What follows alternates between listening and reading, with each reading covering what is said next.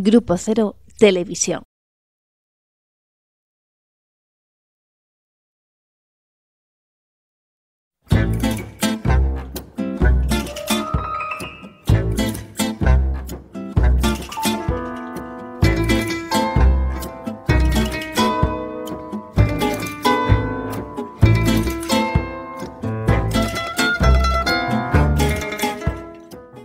Bienvenidos, bienvenidas. Estamos en una edición más de Poesía más Poesía, el número 15. Hoy dedicado a Damaso Alonso y el poeta invitado Jaime Cozac. Ay, le tocó la niña bonita. Buenas tardes. El poema, el, la, la audición número 15. Ah. Es la niña bonita. Niña bonita. A ver A ver si si se lucen. sí. Impuesta de largo. 15. Vamos a presentar al poeta Damaso Alonso.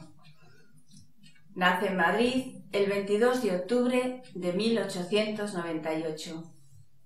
Es poeta, profesor, lingüista y crítico literario. Vivió en su primera infancia en La Felguera, Asturias, donde su padre, ingeniero de minas, trabajaba y estudió el bachillerato en Madrid, en los jesuitas de Chamartín, pasando sus vacaciones estivales en Ribadeo con frecuentes visitas a los Oscos. Su madre era de los Oscos. Bien dotado para las matemáticas, su familia tenía la esperanza que su hijo se graduara como ingeniero de caminos. No obstante, el futuro poeta ya mostraba una afición por la literatura, rama por la que se decantaría luego de descubrir los textos de Rubén Darío. Se formó en el Centro de Estudios Históricos dirigido por Ramón Menéndez Vidal. Se licencia en Derecho y en Filosofía y Letras por la Universidad Central de Madrid y tomó parte activa en las actividades de la residencia de estudiantes donde conectó con los que serían sus compañeros de generación. Menos mal que desobedeció a los padres, ¿no? Sí, total. De ingenieros de camino, estará en la residencia con toda la generación. Bueno, pero hay 27. una leyenda que dice que no fue tanto así, sino que fue porque tuvo una enfermedad grave en los ojos. Ah. Ah, también yo leí que la habla. madre le leía los libros cuando él Ah. estaba con esa enfermedad en los ojos. Ah, ¿ves? Sí. Bueno, la enfermedad también puede ser una forma de desobediencia. Que no, que no.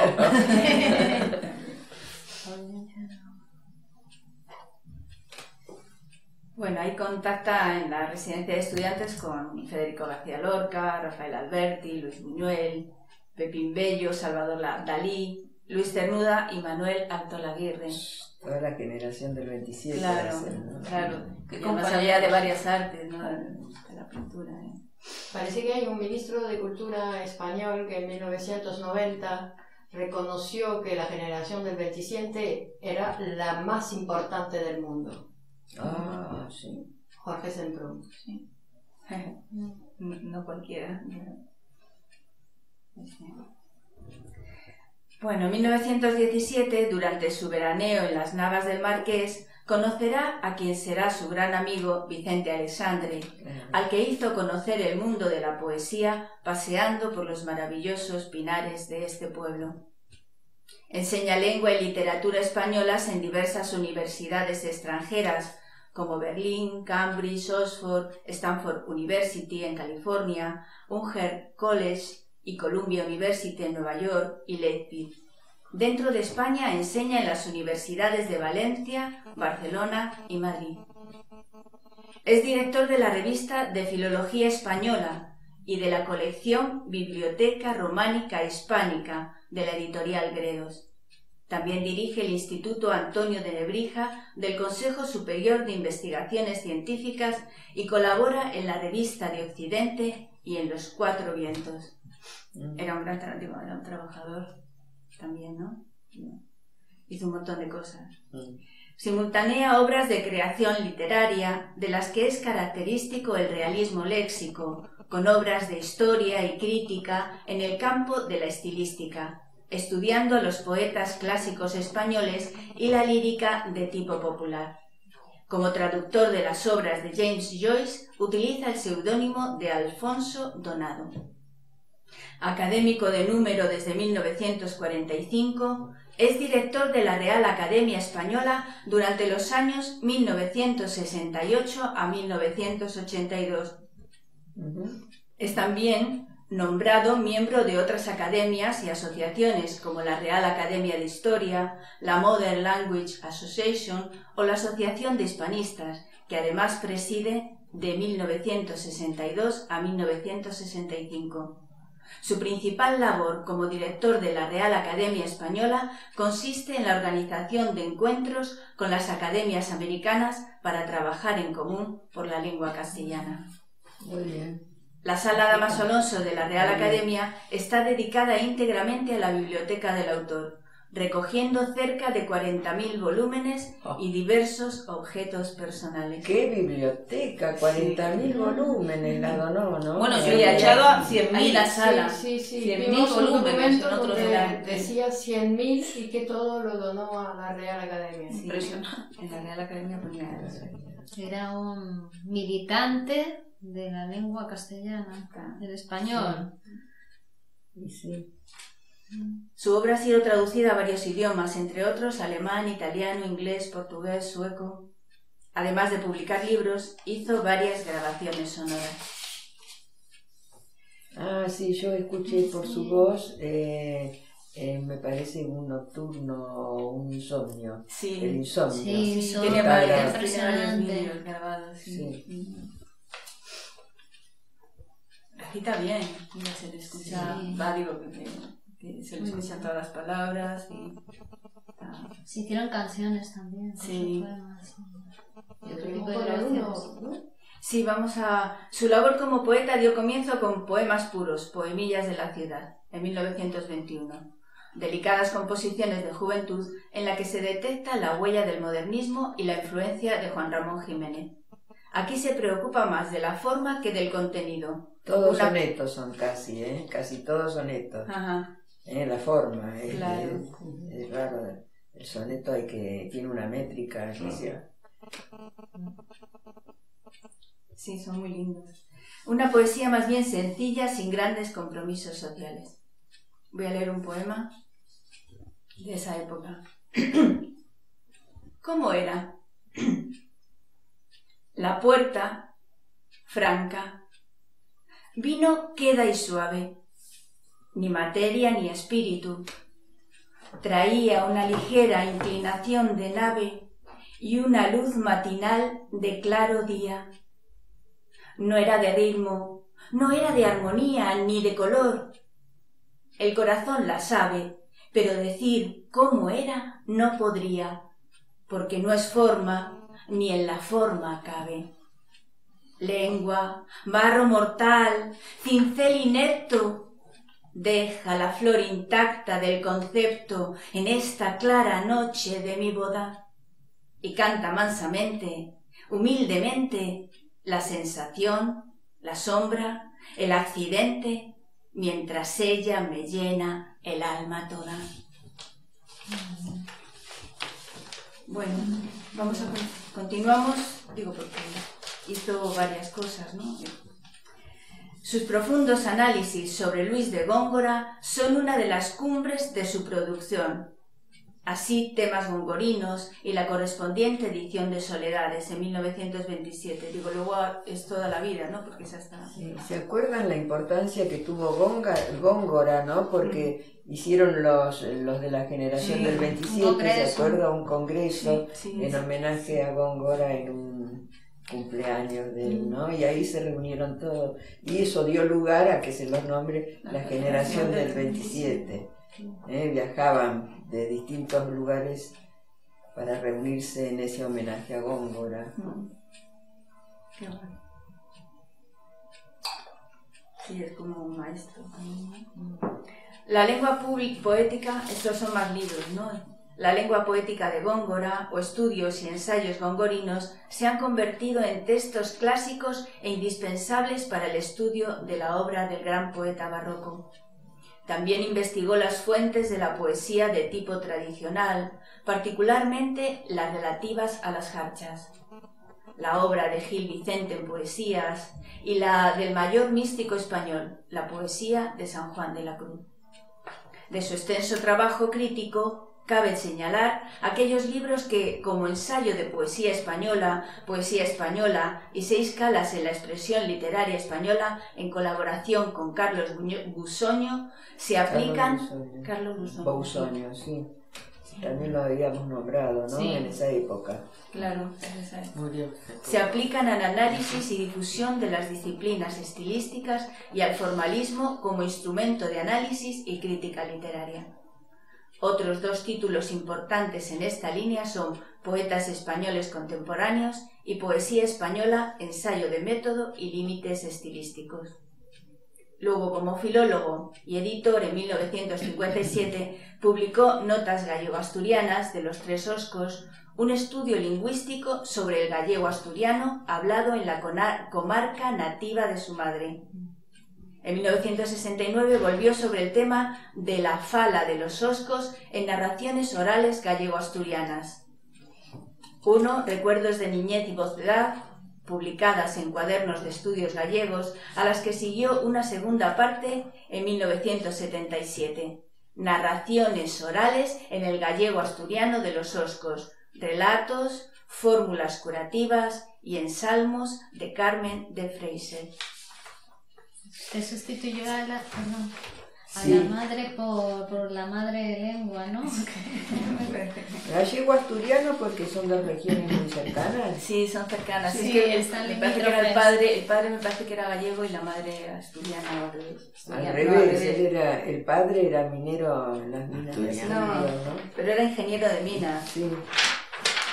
Ah, qué distinto. ingeniero, era ingeniero. Ah, lo destroné. Siguiendo con su obra poética, diremos que en 1944 publica Oscura Noticia. Ahora vamos a ver un vídeo eh, donde Damaso Alonso es leído por Miguel Menaza en su poema Amor, en la voz de Menaza. Amor, primavera feroz, va mi ternura por las más, por las más hondas venas derramadas, fresco tanar, después le puedo decir lo que quiere decir, fresco tanar y furia desvelada que atenuante paso se apresura oh, que a cesar, que hervir, oh, que premura de hallar en la colina clausurada la saga rosa de la cueva helada y su cura más dulce en la locura. Monstruo fugaz, espanto de mi vida, rayo sin luz, oh tú, mi primavera, mi Alimania feroz, mi arcángel fuerte, hacia un hondón sombrío me convida, desplegada y astral, tu cabellera, amor, amor, principio de la muerte.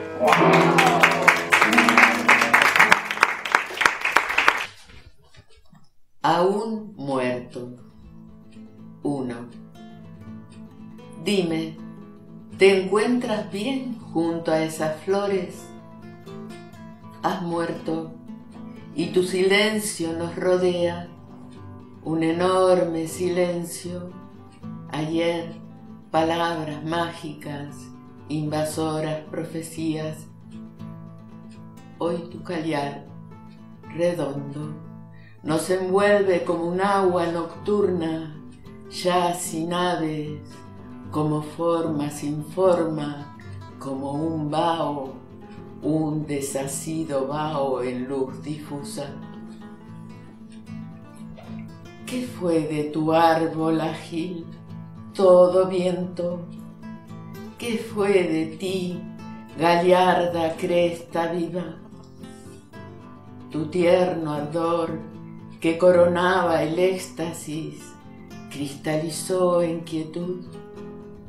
cómo cesaron de expresar la belleza más intacta tus manos, cazadoras de tesoros, tus dos manos en búsqueda frenética.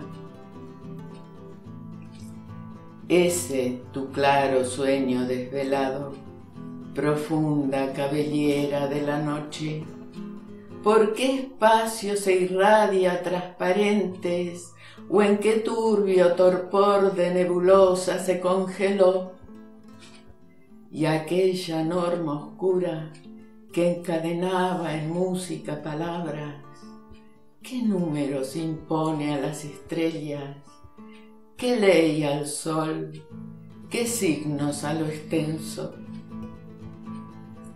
Un enorme silencio nos circunda, un mundo en omisión, un gran sudario.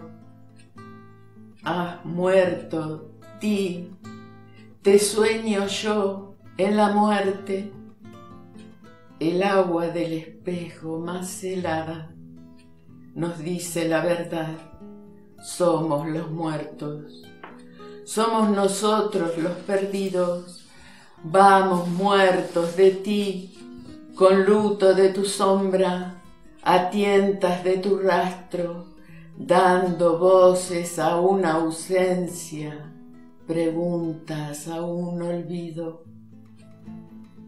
Vacías estructuras funerales, oh, cuán inexorablemente cierran un horizonte rojo. Nuestra angustia quiere tu densa voz y tu sonrisa, vacío, soledad, silencio, sombra. A una oquedad sin puerta preguntamos, a un alcázar de pausas siempre mudo. Ay, hombre de mi sangre, ay, sal de España, aceite del olivo era tu verso, y harina y acemite de los panes, y un denso mosto de fervientes cubas, y del espino albar y la amapola la flor, y del tomillo y la retama. De mar a mar, ya zumban tus cantares.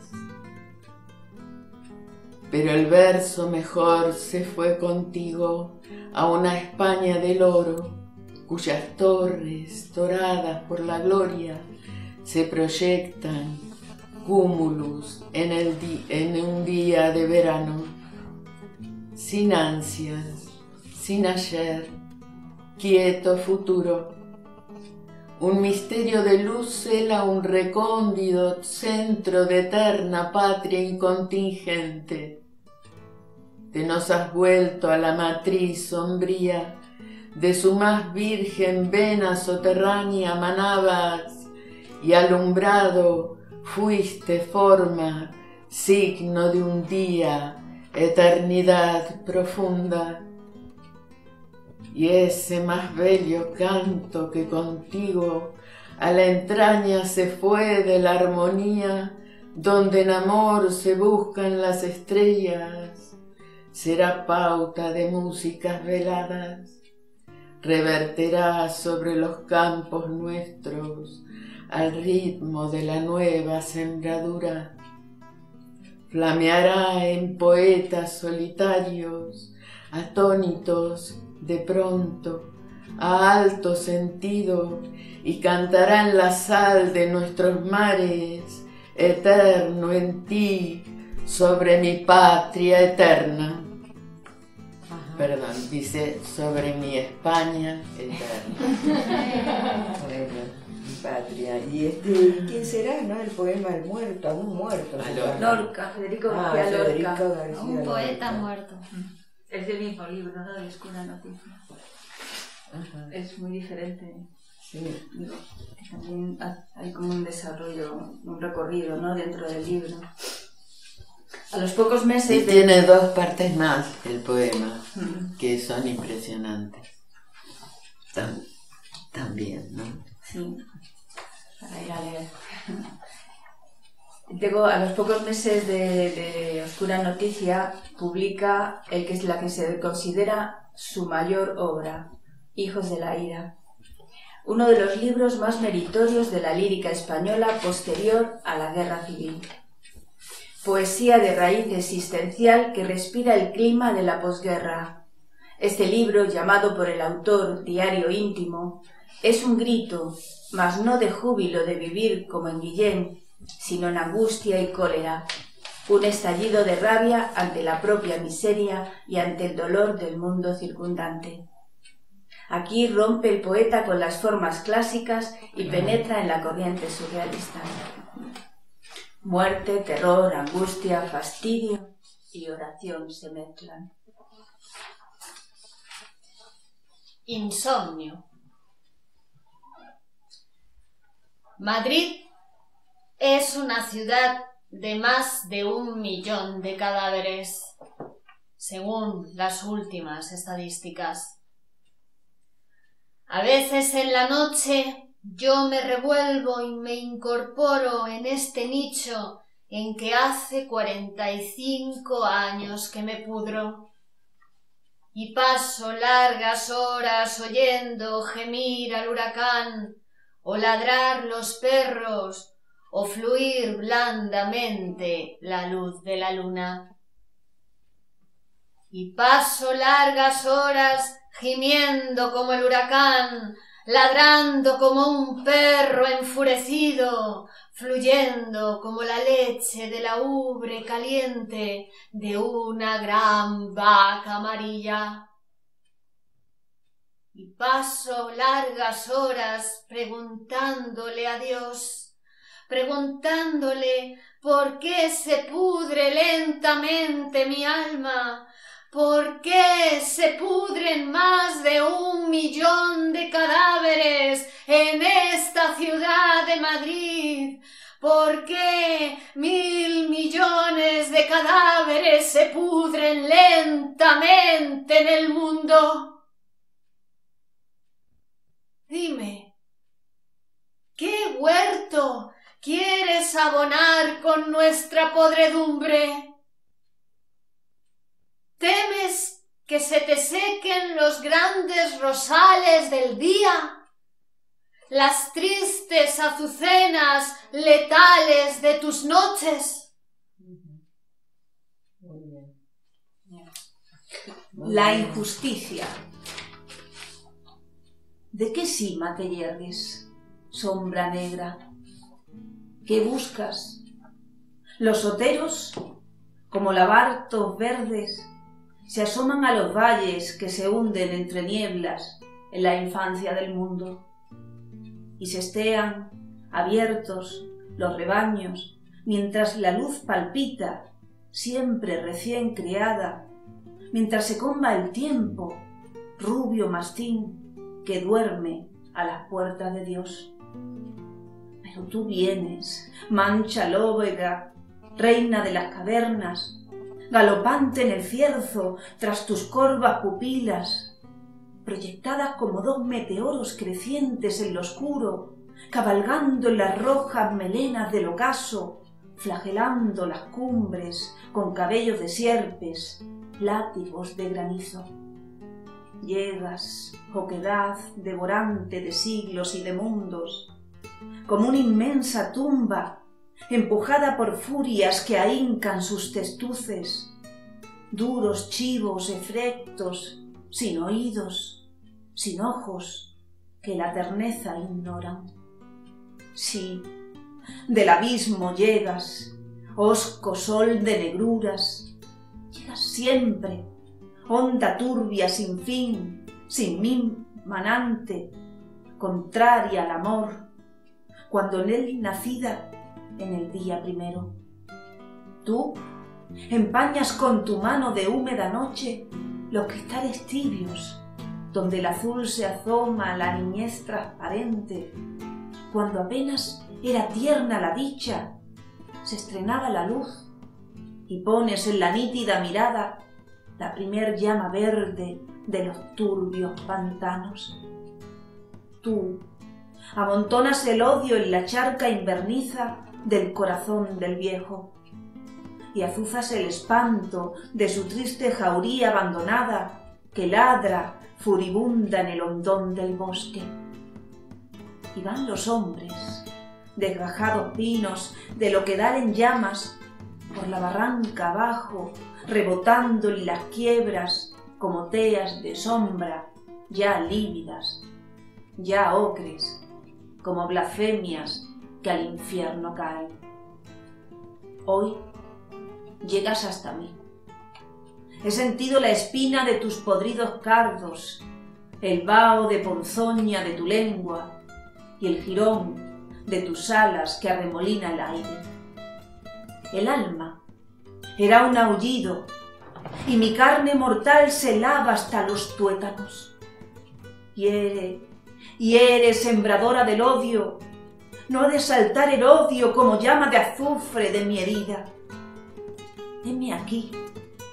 Soy hombre como un dios. Soy hombre, dulce niebla, centro cálido, pasajero bullir de un metal misterioso que irradia la ternura. Podrás herir la carne y aún retorcer el alma como un lienzo. No apagarás la brasa del gran amor que fulge dentro del corazón bestia maldita. Podrás herir la carne, no morderás mi corazón, madre del odio, nunca mi corazón, reina del mundo. Muy bien. ¿De qué libro es? Estamos en Raíces del Odio. Ah, Raíces del Odio. Ya rompió el verso, lo hizo ah, libre, sí, ¿eh? Sí, sí. Como cómo es la vida del poeta, ¿no? De cómo la poesía va marcando rumbos diferentes, ¿no? No se queda estanca en un lugar. Ella crece con el poeta, ¿no? Muy bien. Acá tengo yo un poema dedicado a Leopoldo Panero, otro poeta, ¿no? Que murió hace poco también. Panero, lo han conocido, ¿no? Sí. ¿Sí? Estaba en los manicomios la mayoría del tiempo. En una casa de salud. En una casa de salud. Sí, sí, así ingresa para escribir. Ah, no lo dejaban tranquilo. El poema se llama Mujer con Alcusa. ¿Eh?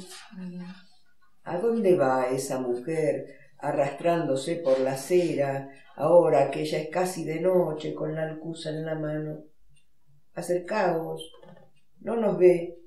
Yo no sé qué es más gris, si el acero frío de sus ojos, si el gris desvaído de ese chal con el que se envuelve el cuello y la cabeza, o si el paisaje desolado de su alma. Va despacio, arrastrando los pies, desgastando suela, desgastando losa, pero llevada por un terror oscuro, por una voluntad de esquivar algo horrible. Sí, estamos equivocados. Esta mujer no avanza por la acera de esta ciudad.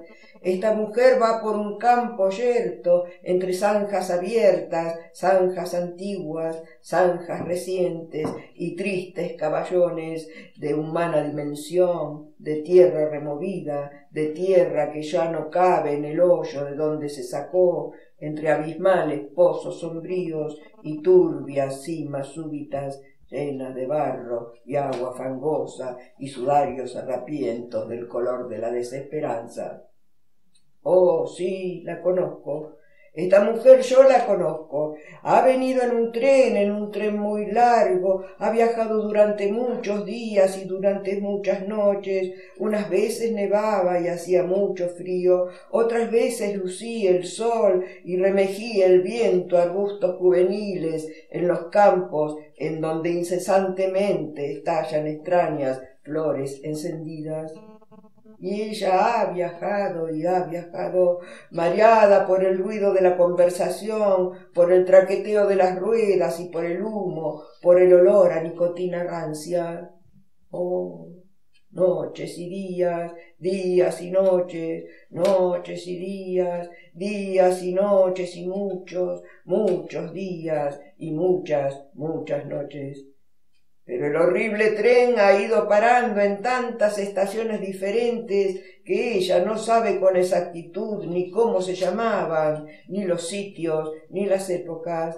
Ella recuerda solo que en todas hacía frío, que en todas estaba oscuro y que al partir, al arrancar el tren, ha comprendido siempre cuál bestial es el topetazo de la injusticia absoluta, ha sentido siempre una tristeza que era como un cien pies monstruoso que le colgara, que le colgara de la mejilla, como si con el arrancar del tren le arrancaran el alma, como si con el arrancar del tren le arrancaran innumerables margaritas blancas, cual su alegría infantil en la fiesta del pueblo, como si le arrancaran los días azules, el gozo de amar a Dios y esa voluntad de minutos en sucesión que llamamos vivir.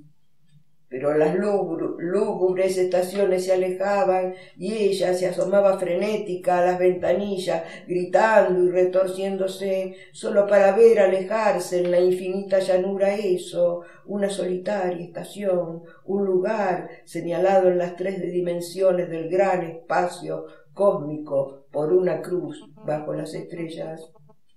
Y por fin se ha dormido, sí, ha dormido en la sombra, arrullada por un fondo de lejanas conversaciones, por gritos ahogados y empañadas risas, como de gente que hablaran a través de mantas bien espesas, solo rasgadas de, de improviso por lloros de niños que se despiertan mocados a la medianoche o por cortantes chillidos de mozas a las que en los túneles les pellizcan las nalgas.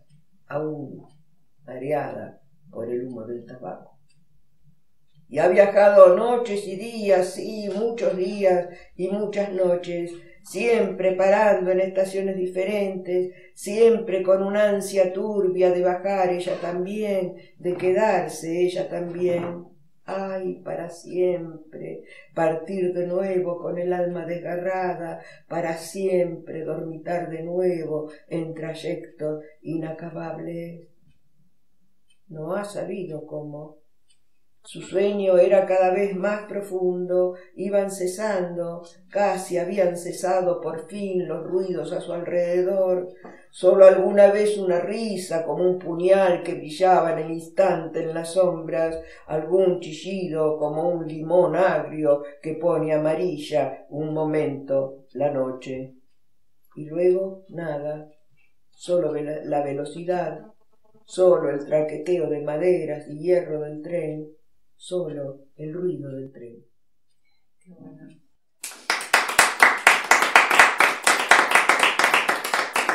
Verso largo, que me costaba la respiración alcanzar el punto. ¿eh? Así que ha roto toda la métrica para, para mejor, ¿no? Un gran poema. Qué diferencia con los anteriores, ¿no? Bueno. Otro poema de este libro. El título es La obsesión. Tú, siempre tú, ahí estás, moscardón verde hocicándome testarudo, batiendo con zumbido interminable tus obstinadas alas, tus poderosas alas velludas arrinconando esta conciencia, este trozo de conciencia envaporecida, pisándola en pellones tenaces sobre las crestas últimas, ávidas ya de abismo. Alguna vez te alejas y el alma, súbita, como oprimido muelle que una mano en el juego un instante relaja, salta y se aferra al gozo, a la esperanza trémula, a la luz de Dios a campo del estío, a estos amores próximos que, mudos en torno de mi angustia, me interrogan con grandes ojos ignorantes. Pero ya estás ahí, de nuevo, sordo, picón, ariete de la pena, agrio berbequí mío, carcoma de mi raíz de hombre. ¿Qué piedras? ¿Qué murallas quieres batir en mí, oh torpe catapulta? Sí, ahí estás, peludo abejarrón, azorado en el aire, sacudes como dudosos diedros de penumbra, alas de pardo luto, oscilantes, urgentes, implacables al cerco. Rebotado de ti, por el zigzag de la avidez te embiscas en tu presa, hocicándome, entrechocándome siempre. No me sirven mis manos ni mis pies que afincaban la tierra, que arredraban el aire, no me sirven mis ojos que aprisionaron la hermosura, no me sirven mis pensamientos que coronaron mundos a la casa de Dios. Heme aquí, hoy, inválido ante ti, ante ti, infame criatura en tiniebla nacida, pequeña lanzadera que tejes ese ondulante paño de la angustia que me ahoga y ya me va a extinguir como se apaga el eco de un ser con vida en una tumba negra. Duro, hiriente, me golpeas una y otra vez, extremo diamantino de vengador venablo, de poderosa lanza. ¿Quién te arroja o te blande? qué inmensa voluntad de sombra si se obstina contra un solo y pequeño y tierno punto vivo de los espacios cósmicos. Hurgan de esto que queda de mi rescoldo humano. Menea, menea bien los últimos encendidos carbones y salten las altas llamas purísimas, las altas llamas cantoras proclamando a los cielos la gloria la victoria final de una razón humana que se extingue.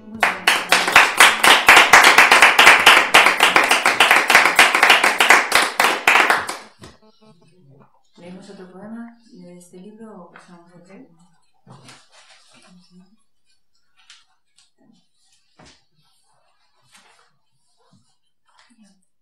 A Pizca. Ah, Pizca. Es el perro. Sí, vamos a leer mejor antes otro. Ah. Preparativos. Preparativos de viaje.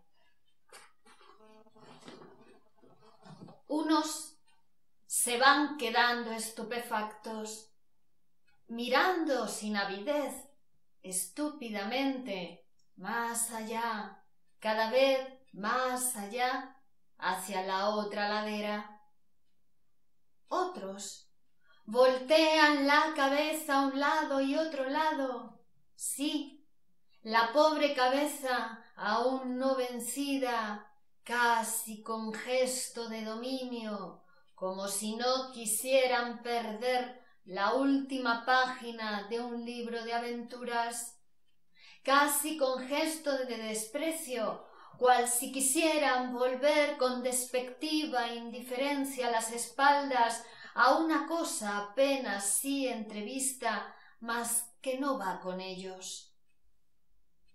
Hay algunos que agitan con angustia los brazos por fuera del embozo, cual si en torno a sus sienes espantaran tozudos moscardones azules, o cual si bracearan en un agua densa poblada de invisibles medusas. Otros maldicen a Dios, escupen al Dios que les hizo, y las cuerdas heridas de sus chillidos sacres atraviesan como una pesadilla las salas insomnes del hospital, hacen oscilar como un viento sutil las alas de las tocas y cortan el torpe vaho del cloroformo. Algunos llaman con débil voz a sus madres. Las pobres madres, las dulces madres, entre cuyas costillas hace ya muchos años que se pudren las tablas del ataúd. Y es muy frecuente que el moribundo hable de viajes largos, de viajes por transparentes mares azules, por archipiélagos remotos, y que se quieran arrojar del lecho porque va a partir el tren, porque ya zarpa el barco. Y entonces se les hiela el alma a aquellos que rodean al enfermo, porque comprenden. Y hay algunos felices que pasan de un sueño rosado, de un sueño dulce, tibio y dulce, al sueño largo y frío. Ay, era ese engañoso sueño, cuando la madre, el hijo, la hermana han salido con enorme emoción, sonriendo, temblando, llorando, han salido de puntillas para decir Duerme tranquilo. Parece que duerme muy bien. Pero no, no era eso. Oh, sí, las madres lo saben muy bien. Cada niño se duerme de una manera distinta. Pero todos, todos se quedan con los ojos abiertos.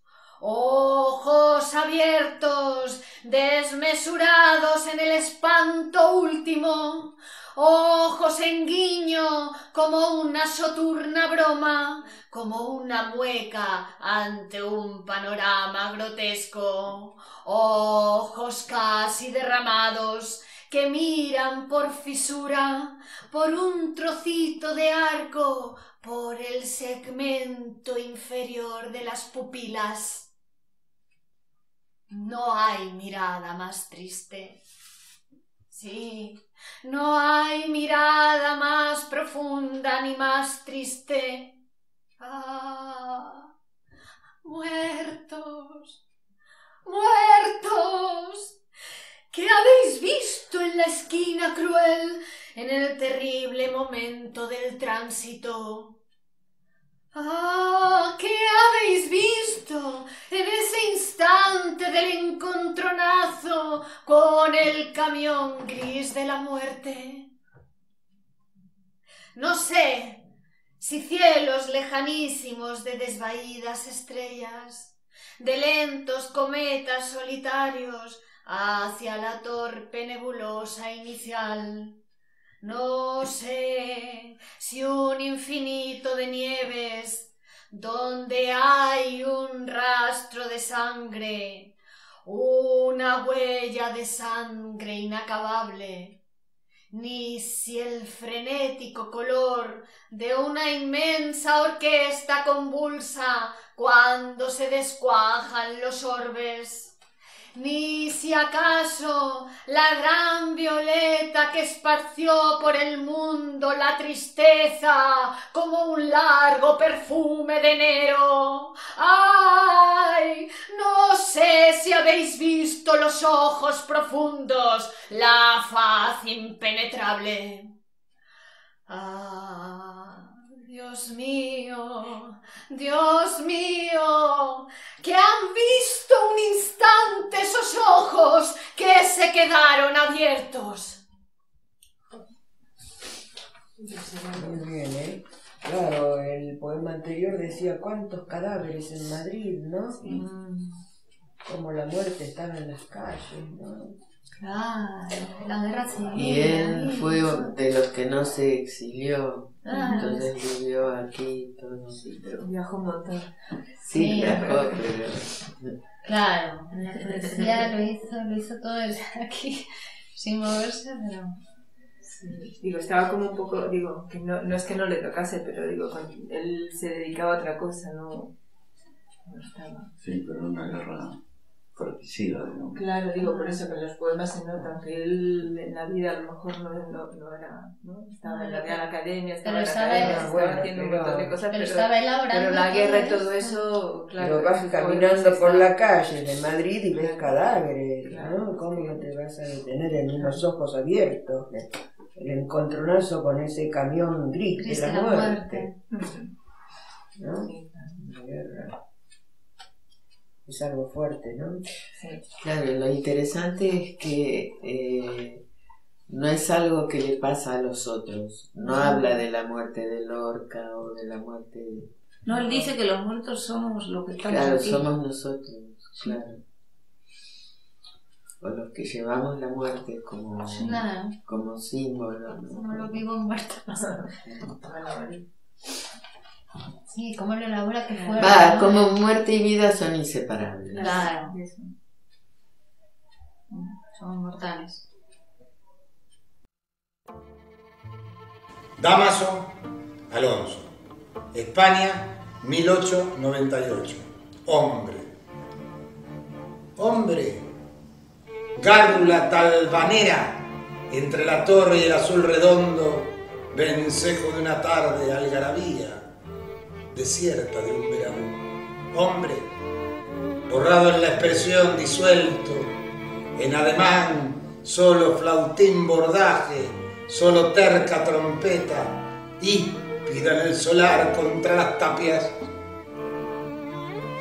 Hombre, melancólico grito, oh, solitario y triste galardor, dices algo, tienes algo que decir a los hombres o a los cielos. Y no es esa amargura de tu grito, la densa pesadilla del monólogo eterno y sin respuesta. Hombre, cárabo de tu angustia, agüero de tus días, estériles, que aullas, can, que gime, se te ha perdido el amo. No, se ha muerto, se ha podrido el amo en noches hondas y apenas solo esa polvo de estrellas. Deja, deja ese grito, ese inútil planil sin eco en vaho, porque nadie te oirá. Solo, estás solo.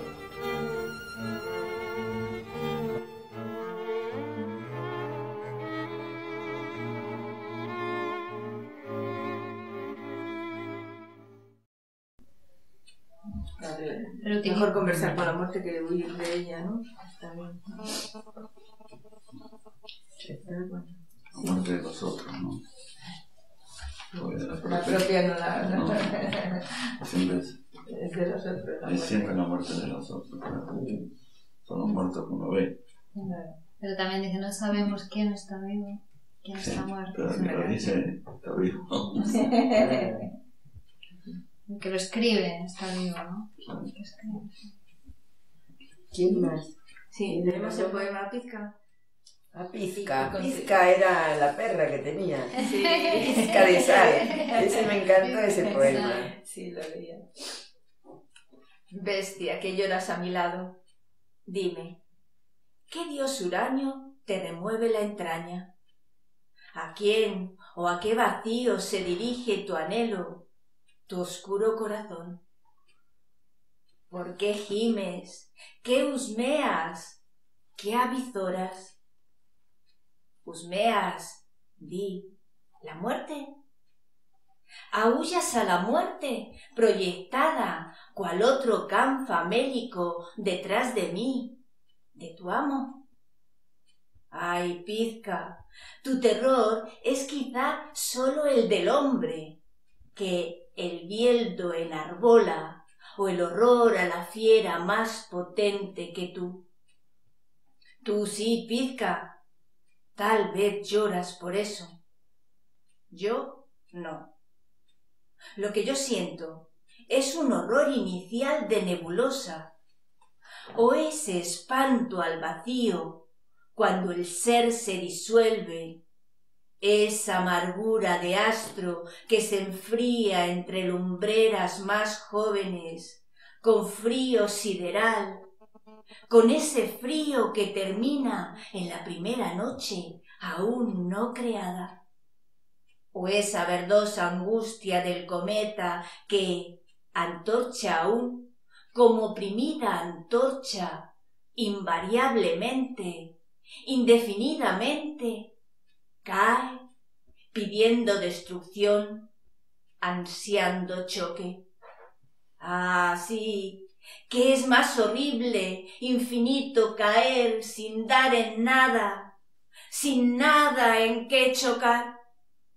Oh viaje negro, oh poza del espanto, y cayendo, caer y caer siempre.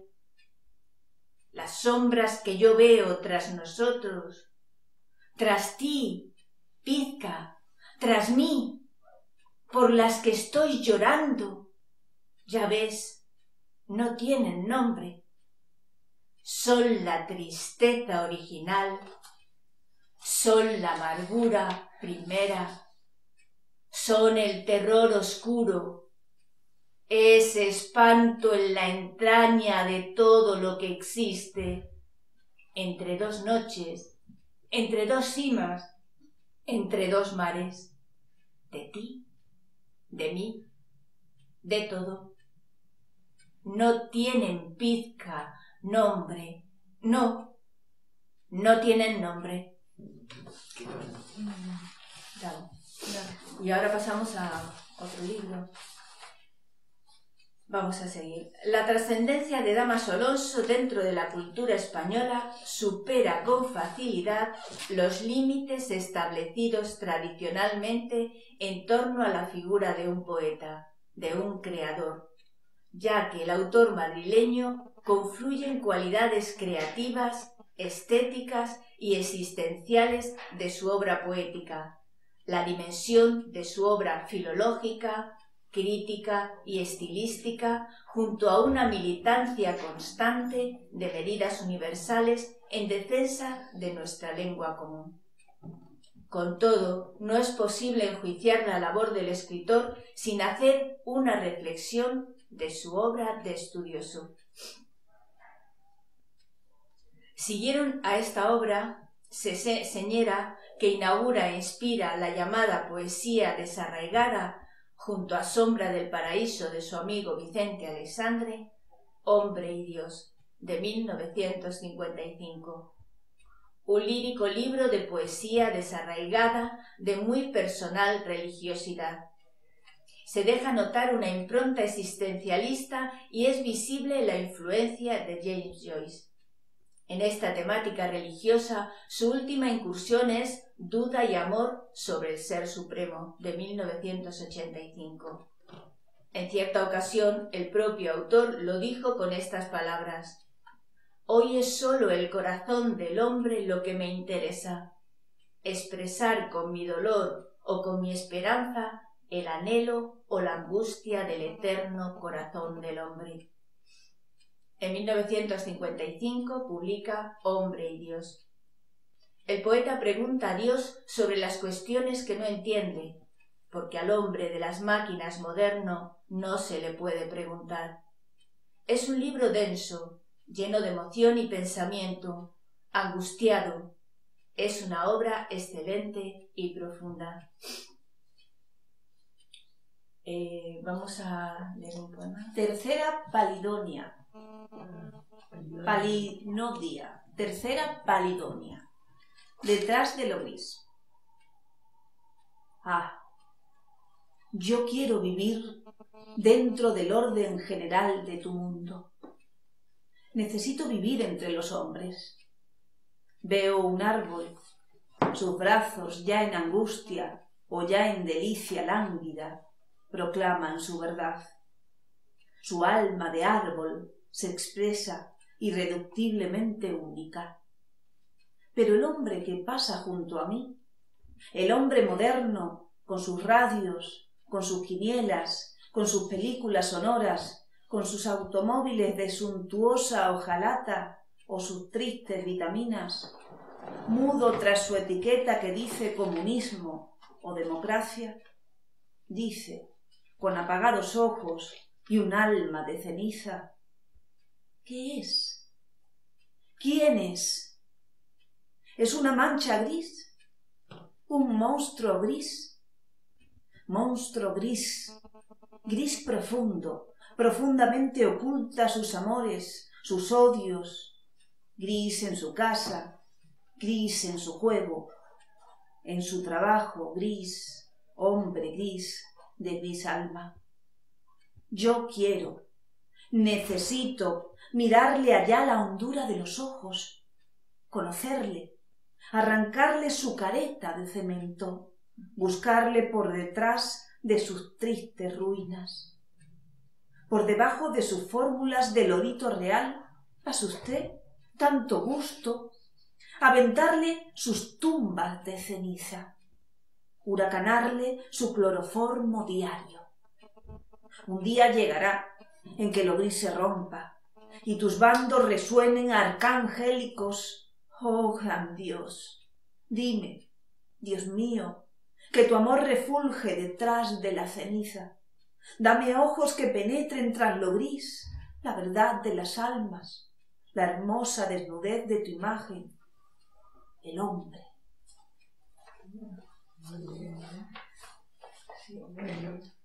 Voy a leer algunos comentarios que él hace. Sí. ¿Eh? Sí, de- después veo algún vídeo, Hombre y Dios y Gozo del Tacto. Adelante. Eh, dice él, son citas, ¿no? Quiero dejar bien claro que mi idea de Dios responde a la necesidad de encontrar una primera causa que explique el mundo. El Dios que aparece en mi poesía no pertenece a ninguna religión. Es el nombre que doy a esa primera causa. Se puede decir que mi religiosidad es de un tipo particular, inspirada en el gran amor que experimento por la causa creadora del mundo. Mi poesía en general está fustigada por el choque entre la atracción por el mundo y la belleza, y la belleza, y la serie de catástrofes y desencantos que he sufrido a lo largo de mi vida, que me han llevado a la contradicción que se manifiesta en hijos de la ira y también algo dulcificada en hombre y Dios, añade Damaso Alonso. Tal contradicción se mantiene en el conjunto de mi obra, marcada por el signo del pesimismo, incluso en Gozos a la vista, donde se refleja la hermosura del mundo creado, no todo es gozoso. Por ejemplo, la reflexión sobre la ceguera centrada en la distinción entre la incapacidad de ver de la ceguera de nacimiento y la brusca pérdida de luz de quien se queda ciego. Sobre la conjunción de extremos de sus paréntesis poéticos que presenta el último volumen de Austral, realizado por necesidades editoriales, Damaso Alonso opina que resulta un libro muy variado, aunque temo la extrañeza del lector ante la diferencia que existe entre los poemas escritos por un hombre casi viejo y los que escribió un muchacho adolescente, estudiante de filosofía y letras.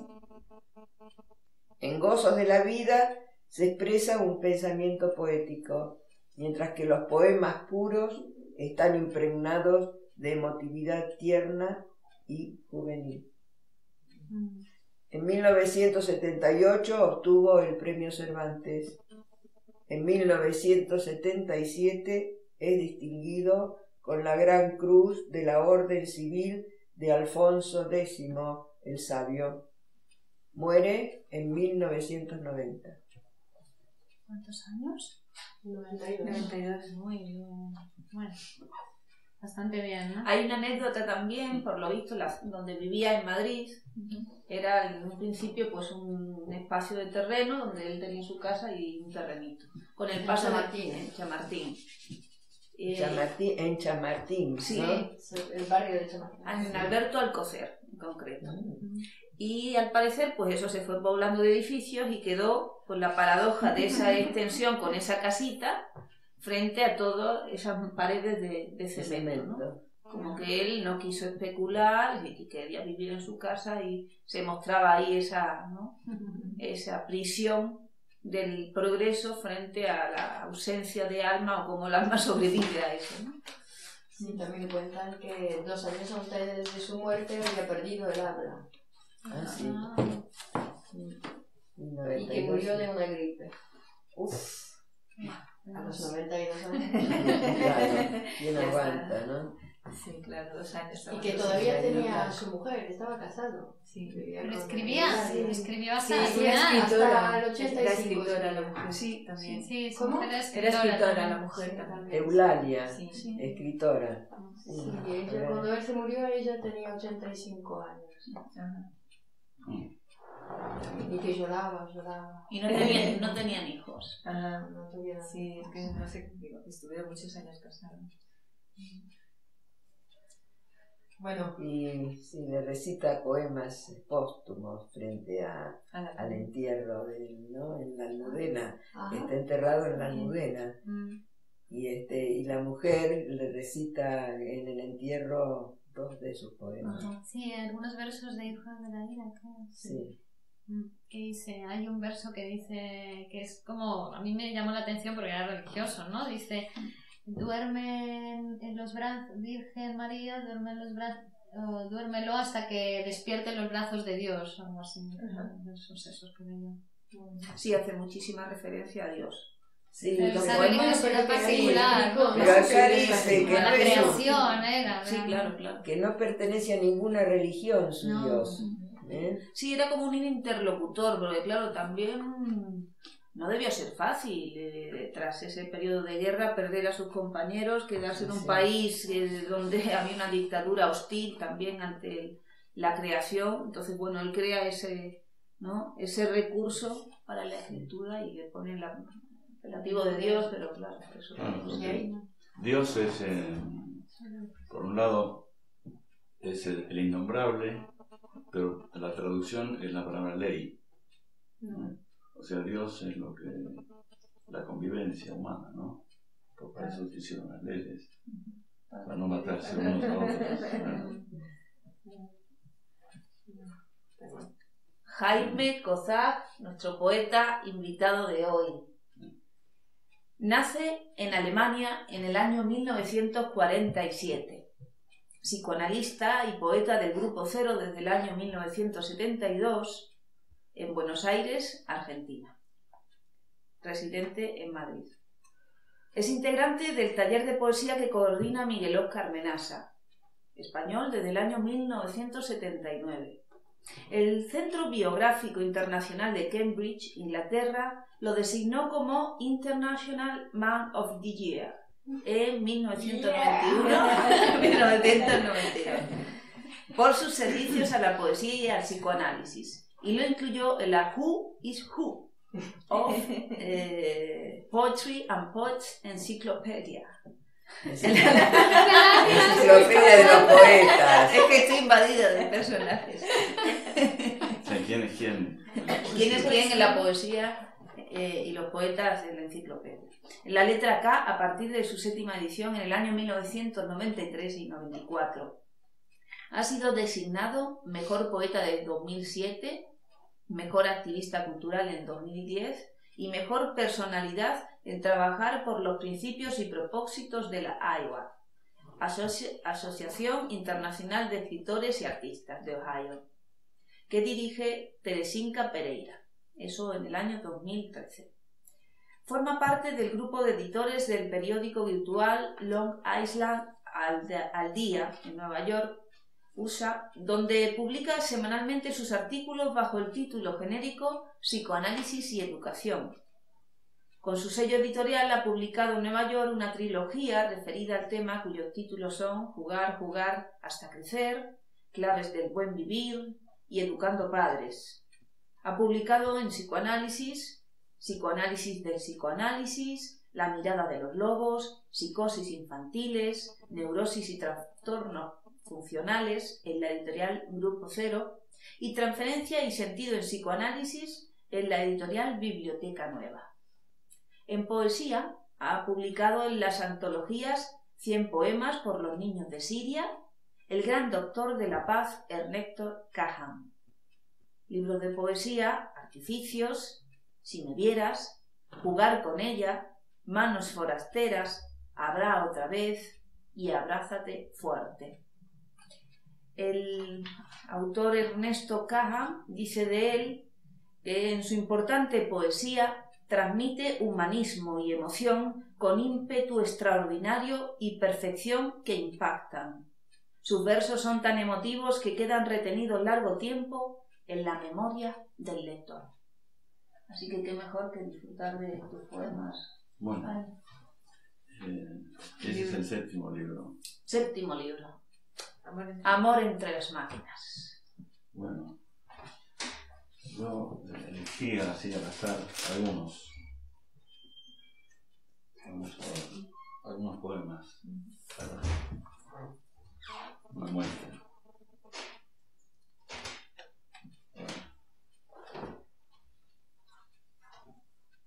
Eh, En general los poemas han sido escritos en el, en el contexto del taller y otros también, pero no eran las tareas propias, ¿no? Pero todas en el mismo contexto. Entonces, el primero es partirse sin que el ánfora se quede sin su sabor. Somos esto y aquello a cada instante, iluminando el nombre de un hombre. Con ramas trenzadas, desde mi débil habitáculo, trabajo entrañas de voces eternas. Oigo el universo en torbellinos de historias, acompasando el palpitar de átomos en, en expansión. El bramido del océano y su aullar son diferentes, el gemido de las jarcias, sus advertencias y la caricia de olas que rompen contra la roca, el estruendo lejano sobre malecones, son voces marinas y la boya ondulante tañe en la niebla tiempos más antiguos que instrumentos de medida. Con resonancias trenzadas sin dueño, los ritmos tensan palabras, crujen y deslizan, resbalan o pudren su imprecisión, abandonan su sitio y vuelven, como puede un vaso de rústicas mieles, partirse sin que el ánfora se quede sin su sabor. Son precarios asombros en los que escucho sofocantes calmas en idiomas naturales, ruidos desesperados de hambrientos en multitud, furias del umbrío humano azotando tambores en su pecho, el chasquido del jaguar devorando una presa. ¿De qué libro? De abrázate fuerte. Que no es abrazarse. Eh,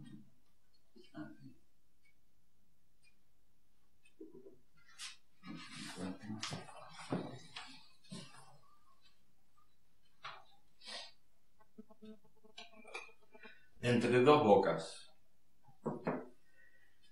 En mis manos caen gotas de rocío. Me quedo contemplándolas, sin saber de qué tiempo hablamos. Anuncian densidad cercana, olivos donde compañeros que amé fueron escritos con olor a humanidad. Nada tengo que olvidar. En versos gozo un minuto más. Y en amplios territorios encuentro poetas, reyes de sonidos agrios y dulces, suaves y perfectos. Cumplo el mandato y al tiempo dejo libre el curso del cuidado de la voz, mas solamente a medias escucho mis palabras. Ella no puede responder, la elevo y arrojo nuevamente a futuras historias cuerpos que llevo entretejiendo amores de mis setenta años. Cuando no esté, no habrá recuerdos acompañándome, marcas fugitivas en la arena. Salgo exhausto a brevar la escarcha tibia, vuelvo en forma de palpitación, sangre enredada en mi sangre, latido dentro de otro latido. Las palabras tienen ese aire mínimo entre dos bocas.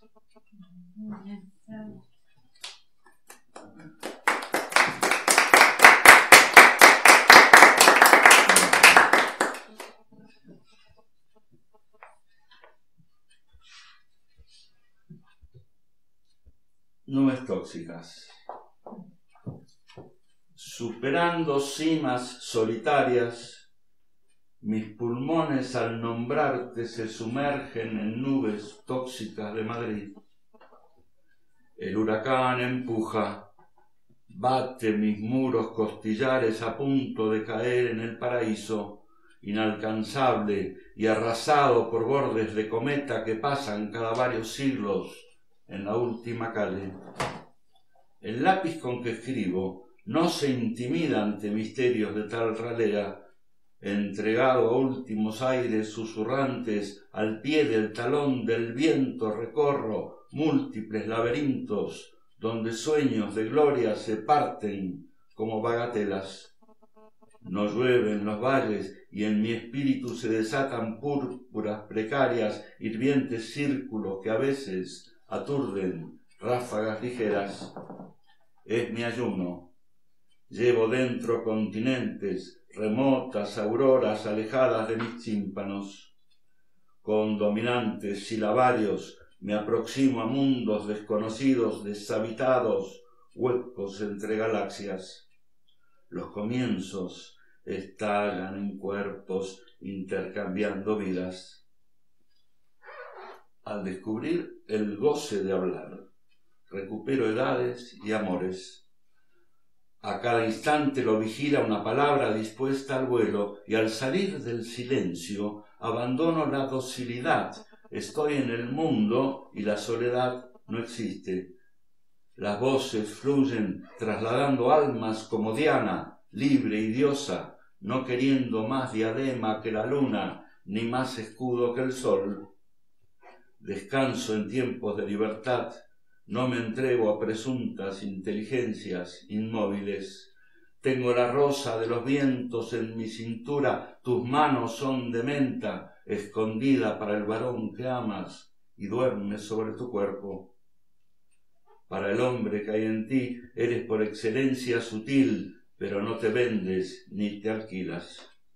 A veces te desangras y te amo, como se aman los que bajan del vergel mediterráneo o de brumosas, lejanas islas, amor mío, fragante y hermosa, naces siempre otra vez y deshojas una por una mis fatigas. Después de aquellos encuentros aprendí a esperarte, como ella a mí, sin prisas.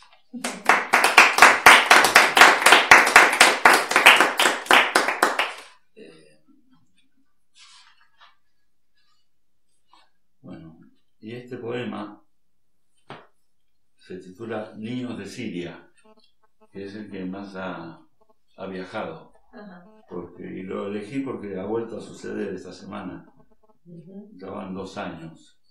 Que, claro, porque no es una, no es una guerra, es una, una aventura de exterminio, ¿no? Porque son ejércitos poderosos contra población civil y además este, no permiten que llegue ayuda humanitaria. Eh, y ahora han firmado eh, en las Naciones Unidas ayer una tregua que se autoriza a que llegue ayuda humanitaria, pero sin fecha. O sea que no se puede ejecutar. Por eso decía antes, esta, la guerra civil española era una guerra fratricida, mm. o otras guerras que son países contra países. Aquí no, aquí es una guerra de destrucción, es como la película de la mafia, ¿no? Donde no había que dejar vivos ni siquiera a los niños, porque el niño después crecía y se vengaba. Mm. Y esa es una guerra de ese tipo, ¿no? 60 niños fueron muertos. Ayer, llevan dos años bombardeando interrumpidamente. el, el hospital que funciona, funciona bajo tierra, porque en la superficie no se puede desnudarlo. Tiene que ser un hospital subterráneo. Entonces me invitaron a participar en una convocatoria y seleccionaron este poema para esa antología. Como la bestia que somos, en formas hechiceras, dibujamos cavernosas máquinas virtuales y exaltaciones, toleramos entierros bajo muros de lamentos, donde rogamos paz futura, un lugar en el cielo que no existe. Todas las guerras son en nombre de Dios. Masas humanas ebrias de odio, como animales acorralados, rugen y se arrastran en disputas ancestrales, muestran imágenes caídas del hombre sobre explanadas de cuerpos, encontrando el aliento final en la aventura que se aleja una vez destrozado el enemigo del ciego rostro del oro negro. Es espeluznante cómo magnetiza la tierra que no es de nadie y el resplandor de los desiertos, derrite el amor y los asesinatos vistos en televisión para que el público sepa que en ningún lugar están mejor que en sus casas, dulces y crueles hasta que manos siniestras por cada libra de carne silencian sus voces. Después la sangre corre, el mundo se pone a deliberar, pero es tarde. Los fabricantes de armas se disponen inmediatamente a defender a sus clientes. Son contrarios a cualquier ataque o represalia después de la matanza. Las cámaras están preparadas para la demostración que habrá de exponerse en la próxima feria de armas. Los periodistas extranjeros hacen largas filas para ver cadáveres de niños, en general a los primeros. El resto es rutina porque a todo el público se acostumbra mientras come. Los planes siguen su curso a la espera de firmar transferencias dando el visto bueno. El mercado es soberano. El aire sangriento en el vuelo de cráneos destrozados sufre latigazos de visiones de infiernos junto a rastros de huesos agujereados. La muerte se vistió de gala con novedades en materia de destrucción, sean ladrillos o carne humana. Lo importante son los gestos favorables al negocio, porque dar salida a la mercancía en depósito de otras guerras es prioritario. Murieron niños sin saber ni encontrar respuesta. ¿Por qué, madre, nos matan?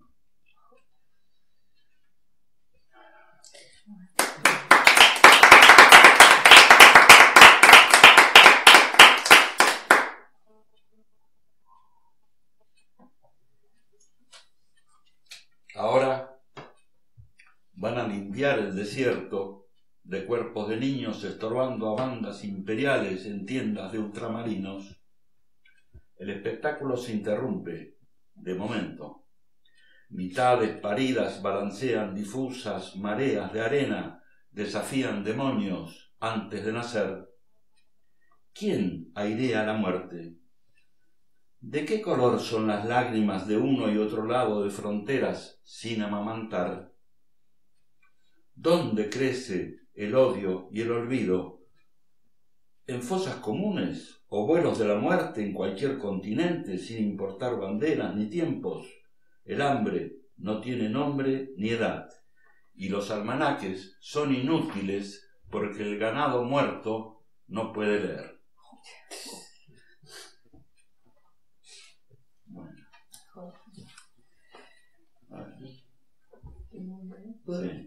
¿Por, qué elegiste casi todos los poemas de ese libro? No. Que para ti. Bueno, varios. Sí, sí, varios, sí. Este, no, fundamentalmente por. El primero que leí porque es un poema raro. Ese es como un largo verso. Y por casualidad también por por la lectura de Ulises que cada capítulo es un escritor diferente, ¿no? Entonces, eso también me impresiona. Y este es un poema... Sí, hay, hay una diferencia entre este y los libros anteriores, yo creo. Sí. Sí. Se nota, pareciera como un libro de cambio, ¿no? Sí. Sí, es otra serie. ¿Este cuál es? ¿Qué... Este es Abrázate Fuerte. ¿Pero qué posición es? ¿Sexto? Sí. Ajá. Y después el... Y después vino Amor entre las máquinas. Sí. Y después lo del después de tanto abrazo... El amor. claro. En realidad, claro, sería agárrate fuerte, ¿no? Pero abrázate como una expresión más argentina, digamos. Bueno, agárrate fuerte en Argentina es más directo, ¿no? Es más directo. sí. Y después lo de los niños de Siria, porque me impresionó las últimas noticias, incluso lo de Estados Sí. Unidos, ¿no? Que pasa en su mismo territorio. Y a un kilómetro se hizo la, la feria de armas a, lo- a la semana. Y después el presidente propone como solución que los profesores tengan Sí, entrenamiento impresionante. militar. Que se les entregue armas a los para profesores. defenderse de los Es ataques de que los hay mucha población, hay mucha población. Ay, ay, ay. Y claro, no saben cómo liquidarnos. Qué impresionante. Como se bajan los impuestos. Mejor que los ciudadanos compren las armas, compren la munición y ellos mismos la gasten matándose entre ellos. Y así es una poco de tiempo. Leemos uno alegre, así de... Alegre, Sexual. El amor entre las máquinas, a ver cómo es chucu chucu chucu chucu. es este. Sí. También es un verso largo. Alegre, no sé si son. Ah, pero ese había elegido.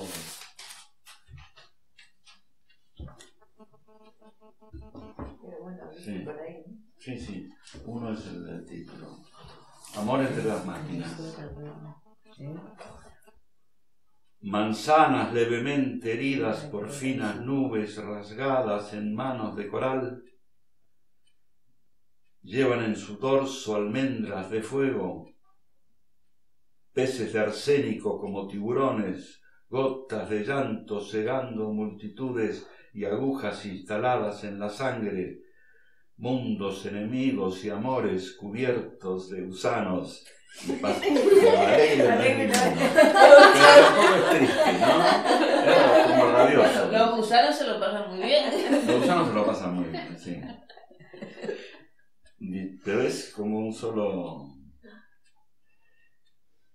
Amores cubiertos de gusanos y pasados que caen sobre la, la gran cúpula que untan aceite e historias falseadas donde un hombre se orina en una deslumbrante paloma de la paz y escupe carbón que no existe porque siempre hubieron guerras en algún lugar del planeta rodeados de falsas promesas de amor machacado y progreso prometido, tan irreal como cuando los androides sueñan con ovejas mecánicas llegadas detrás de la memoria, robando sombras de mi nostalgia ciega.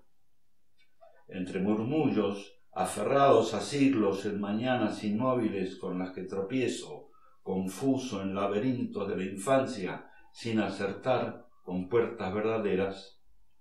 Crecí como una estría blanca sobre matorrales oníricos de cabras, tan imaginarias y rústicas como los enigmas exigidos a los dioses, uno por cada siglo compartido en los rosedales de Madrid, en la rota alcancía de recuerdos inventados, acordes con las leyes de la robótica, como la primera que dice algo así como no matarás a un humano. En esas leyes que dentro de su andar hay un vuelo de luto, se agita la mar y la piedra se contempla, porque en los tiempos que vivo el mar se retira y avanza a la vez, deja tierras y continentes al desnudo y se ensancha la negrura que pretende la luz. El cielo se mueve por grandes anhelos, arranca en sus lágrimas algunos barcos con sus noches caídas y queda el infinito moviéndose abandonado en su silencio.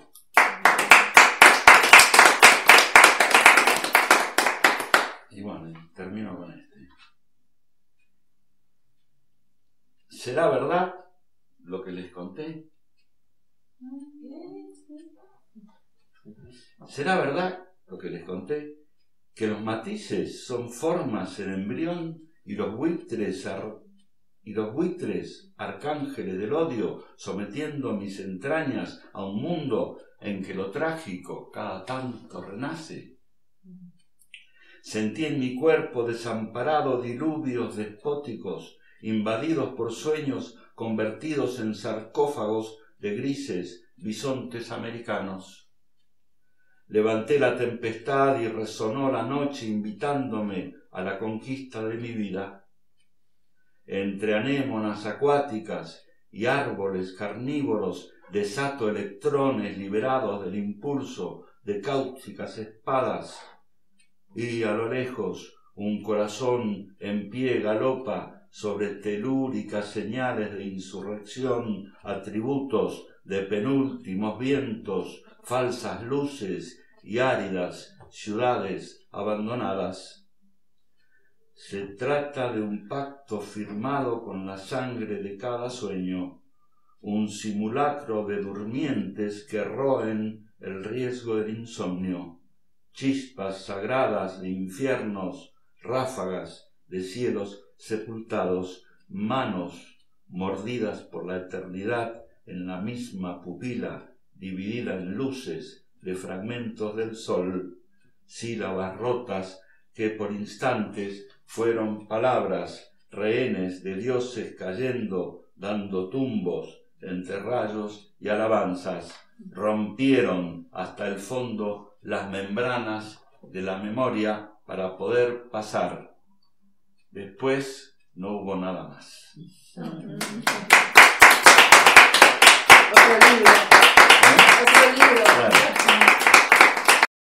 Tengo que conformarme. La muerte acecha. Sí, es verdad. Pero a los moribundos. ¿Y usted? ¿Cómo sabe que no es un moribundo? Saberlo, no lo sé. Lo sé por comparación. ¿Sí? ¿Con quién? Con usted. Si viniera la muerte en este momento, se lo llevaría a usted. ¿Cómo sabe eso? Sabiduría popular.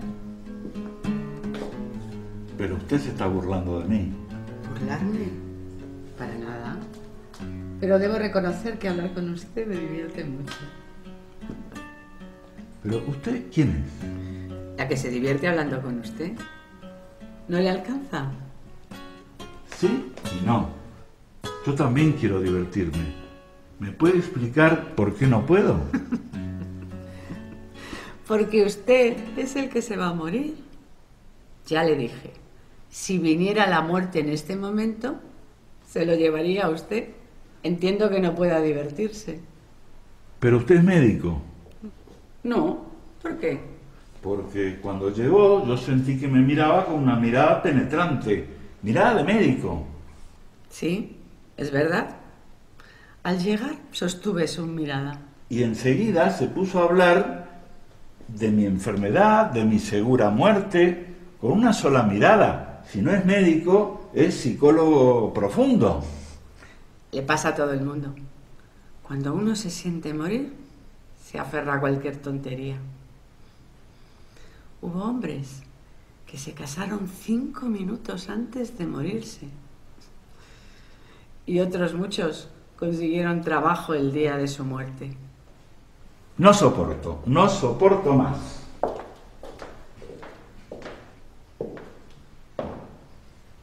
¿Cómo sabe tantas cosas acerca de la muerte? ¿Acaso la conoce? Bastante. Sí. ¿Por qué me lo pregunta? Yo lo único que deseo es conocer a la muerte.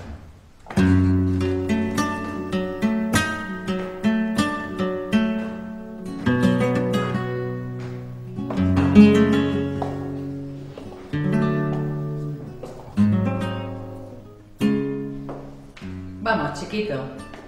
Que te toca. Espere, espere, usted. ¿No será la muerte?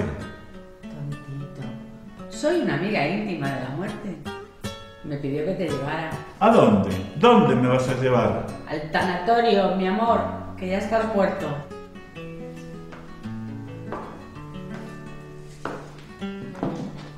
Para, para que todavía estoy en mi casa. ¿Puedes llamar a mi mujer? Señora, su marido la llama. ¿Qué pasa? ¿Y usted? ¿Quién es? Vine a llevarme a su marido. Soy amiga íntima de la muerte. ¿Pero quién es usted? Soy amiga íntima de la muerte. Vine a llevarme a su marido. Pepe, vete de casa que tu padre necesita reanimación. Y llévate a esta puta que tu padre hoy no la va a acompañar.